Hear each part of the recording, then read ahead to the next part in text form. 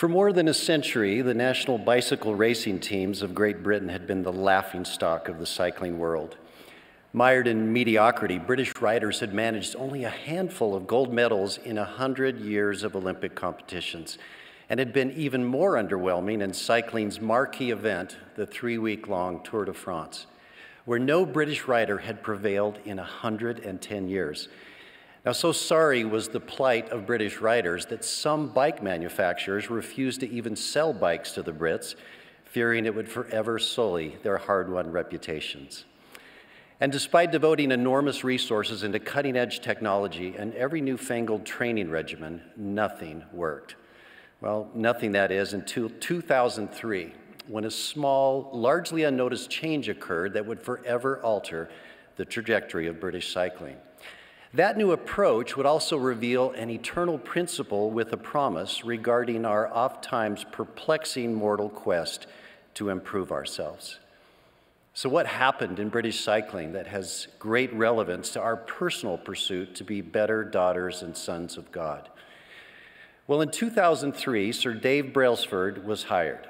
And unlike previous coaches who attempted dramatic overnight turnarounds, Sir Brailsford instead committed to a strategy he referred to as the aggregation of marginal gains.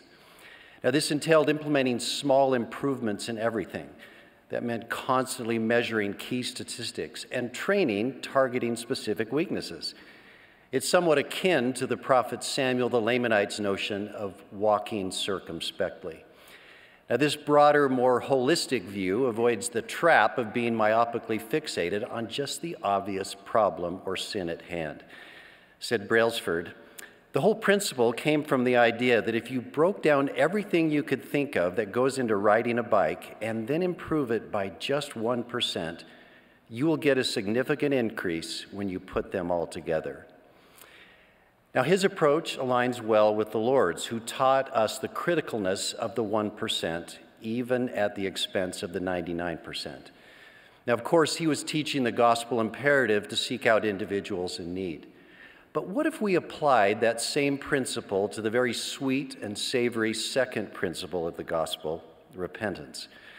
Rather than being stymied by the churn and dramatic uh, swings between sin and repentance, what if our approach was to narrow our focus even as we broadened it? Instead of trying to perfect everything, what if we tackled just one thing? For example, what if in your new wide angle awareness you discover you'd neglected a daily reading of the Book of Mormon?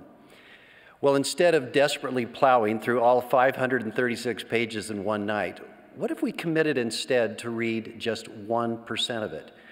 That's just five pages a day or another manageable goal for your situation.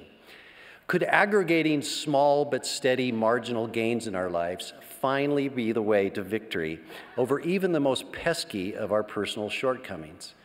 Can this bite sized approach to tackling our blemishes really work?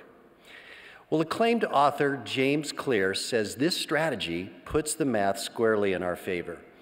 He maintains that habits are the compound interest of self improvement. If you can get just 1% better at something each day, by the end of a year, you will be 37 times better. Now, Brailsford's small gains begin with the obvious, such as equipment, kit fabrics, and training patterns, but his team didn't stop there. They continued to find 1% improvements in overlooked and unexpected areas, such as nutrition and even maintenance nuances. Over time, these myriad of micro betterments aggregated into stunning results, which came faster than anyone could have imagined.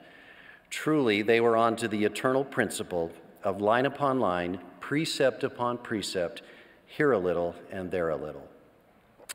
Well, will little adjustments work that mighty change that you desire? Properly implemented, I'm 99% certain they will. But the one caveat with this approach is that for small gains to aggregate, there must be a consistent day in and day out effort. And although we likely won't be perfect, we must be determined to mirror our persistence with patience. Do that, and the sweet rewards of increased righteousness will bring you the joy and peace which you seek. As President Nelson has taught, Nothing is more liberating, more ennobling, or more crucial to our individual progression than is a regular daily focus on repentance. Repentance is not an event, it is a process. It is the key to happiness and peace of mind. When coupled with faith, repentance opens our access to the power of the atonement of Jesus Christ. Now, as to repentance as prerequisite of faith, the scriptures are very clear. All that's initially required is a mere particle of faith. And if we can muster this mustard seed mentality, we too can expect unexpected and exceptional improvements in our lives.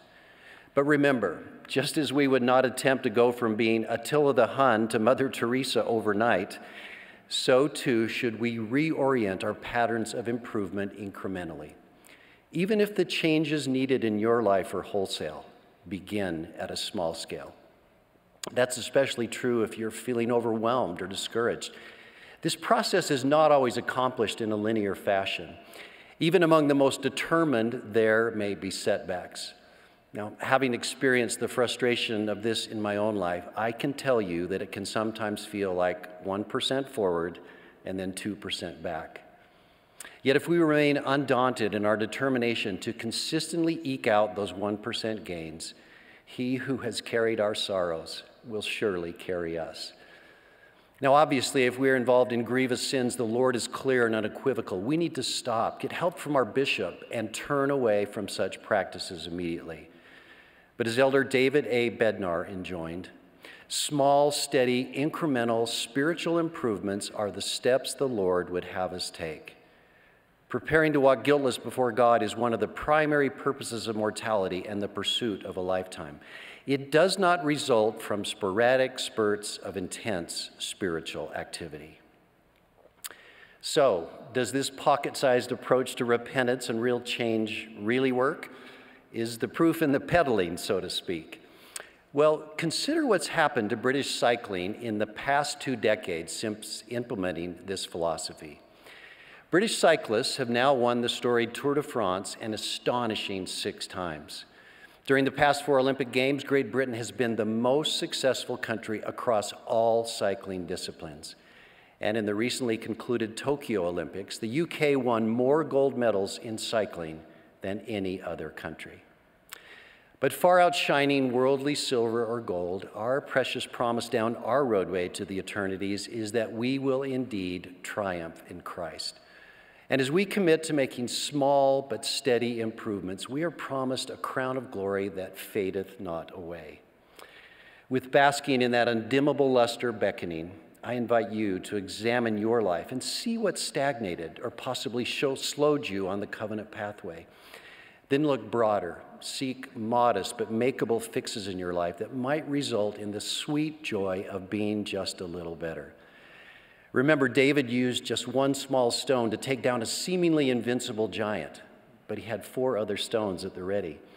Similarly, Alma the Younger's wicked disposition and eternal destiny was altered by just one simple salient thought a remembrance of his father's teachings about the saving graces of Jesus Christ. And so it is with our Savior, who, though sinless, received not of the fullness at first, but continued from grace to grace until he received a fullness. It is he who knows when a sparrow falls that is likewise focused on the minute as well as the momentous moments in our lives, and who is ready right now to assist you in whatever your 1% quest is coming out of this conference. Because every effort to change we make, no matter how tiny it seems to us, just might make the biggest difference in your life. To this end, Elder Neal A. Maxwell taught each assertion of a righteous desire, each act of service, and each act of worship, however small and incremental, adds to our spiritual momentum. Truly, it is by small, simple, and yes, even just 1% things that great things can be brought to pass. Ultimate victory is 100% certain after all we can do through the might, merits, and mercy of our Lord and Savior Jesus Christ. I so testify in the name of Jesus Christ. Amen. Amen.